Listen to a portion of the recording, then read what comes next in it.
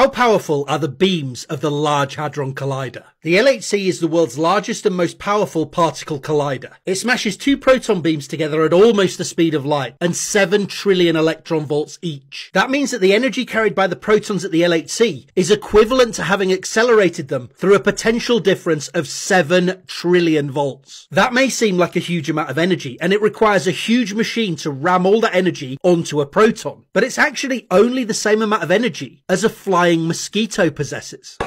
What?